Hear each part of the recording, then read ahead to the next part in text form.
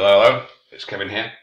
Time for video number four of Cambridge 18. This is the uh, the task we're going to have a look at for today. I'll just quickly put my usual disclaimer, fair use, non-profit, etc., etc. You know the score. Okay, get that out of the way. So, as you may or may not know, we've been doing every Cambridge previous paper. We started at 17, 16, 15, 14, blah, blah, blah. We got down to number 8. Then Cambridge 18 was published, so we're doing every task in Cambridge 18. We've done test one, two, three. This is test number 4. Okay, so as usual, I've written one. I'll show you mine, explain why I wrote it the way that I did. And we've got five uh, responses from our Telegram group, IELTS 9 PLO. Okay, and uh, I made a couple of changes. I'll be making some comments on these five. Okay, doke. So let's have a look then. Now, as you know, we've got the usual four paragraph as a, a structure. Introduction, you simply paraphrase the topic, right? What's on the x-axis, what's on the y-axis. That's on the a sentence. Shouldn't take you more than a minute or two. The graph, a line graph, it illustrates, depicts changes per month in free metal prices, copper, nickel, zinc in 2014, or something such as that, right? That's easy.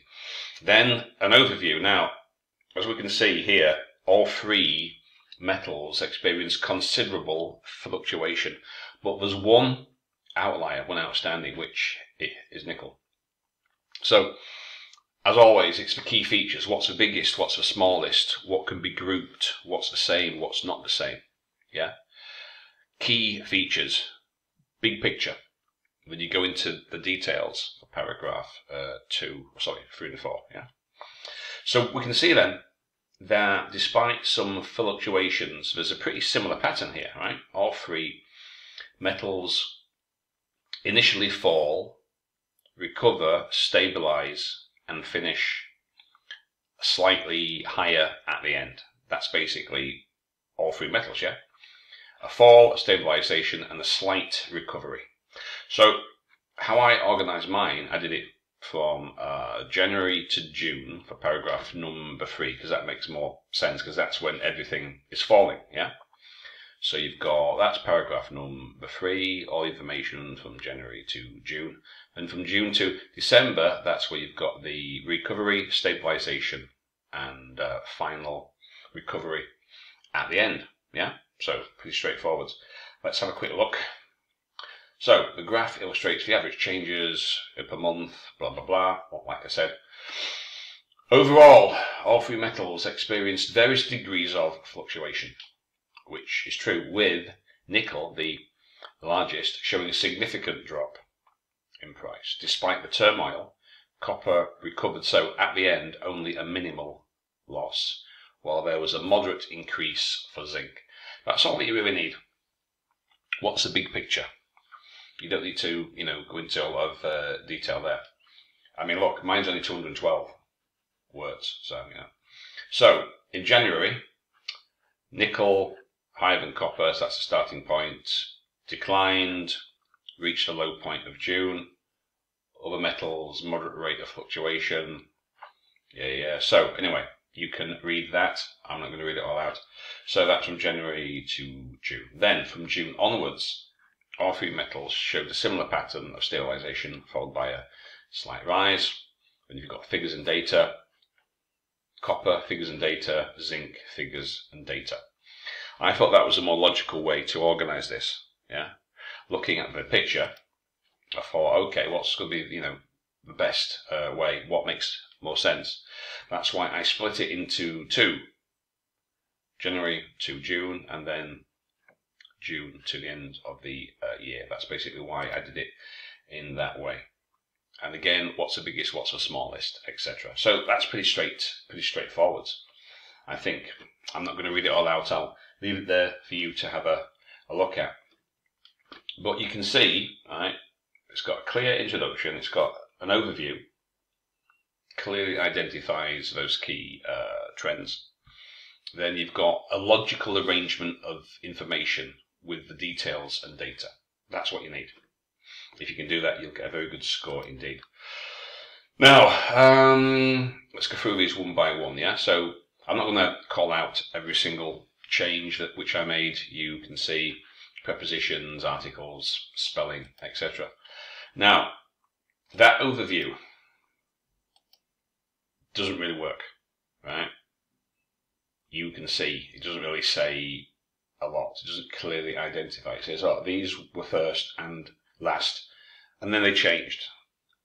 That's it. Well, no, that is a little bit more. Uh, just significance next two months, nickel, rest of copper, monthly figure for zinc. So this isn't too uh, bad, but this is 230 words. Um, oh yeah, yeah. Now you need to watch, and I I see this often. People using adverbs and nouns, dramatic. Not point, you know, minus minus one percent is dramatic. Minus Minus one percent change. That's a dramatic change. Okay.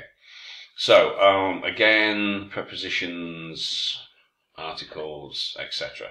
Okay. So moving on.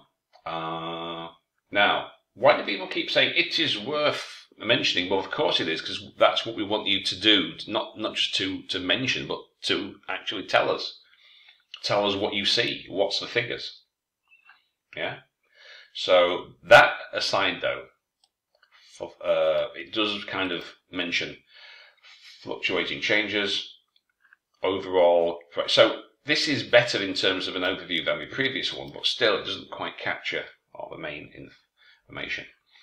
Vital metals, I took out that. I mean, it doesn't say they are a vital or non-vital. It just says three metals.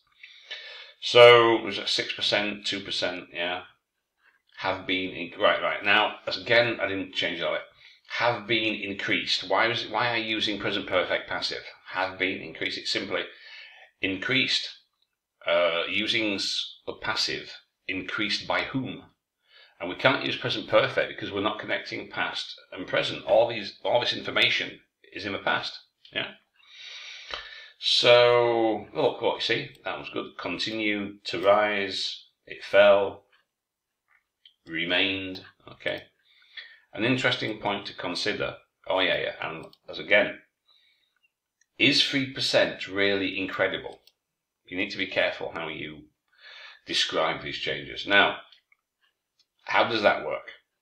So it was a gradual decrease, but during this period, within that period, there were no changes.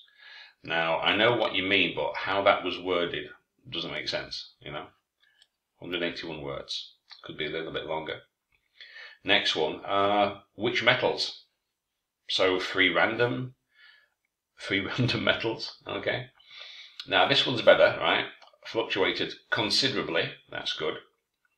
The trend was downward. Zinc witnessed a slight rise, so that's better in terms of an overview. Okay.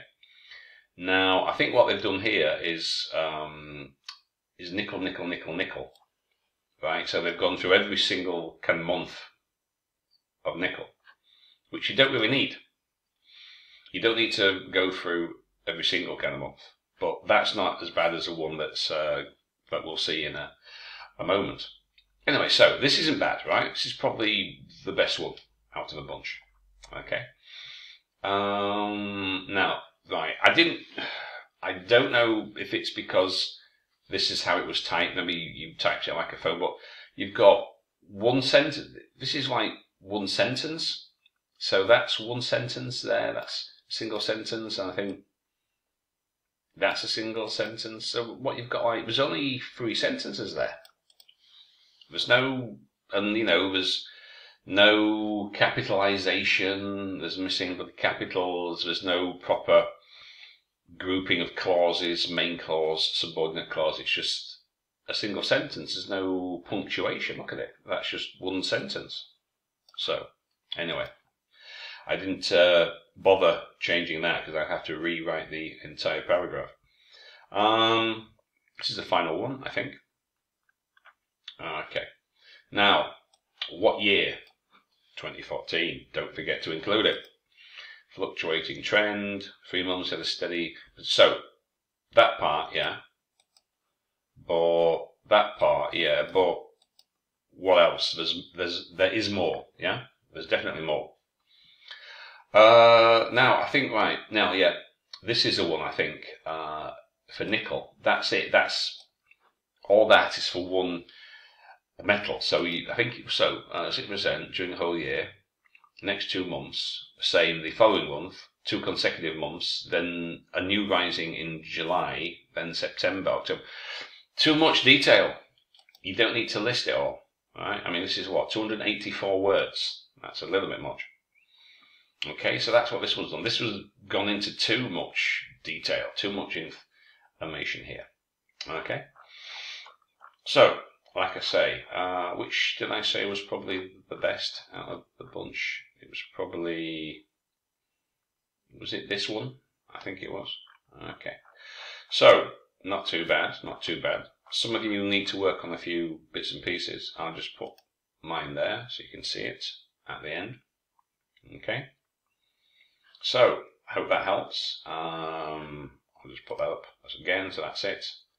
So, like I say, you need to, what's on the x-axis, what's on the y-axis, what's in the rubric, look at the information. Like I say, it, it did seem logical to split this up into, you know, January, June, because that's when everything fell. And after that, everything kind of rose, stabilized, and rose again. So that's basically why I did it in that way. So, I hope that helps.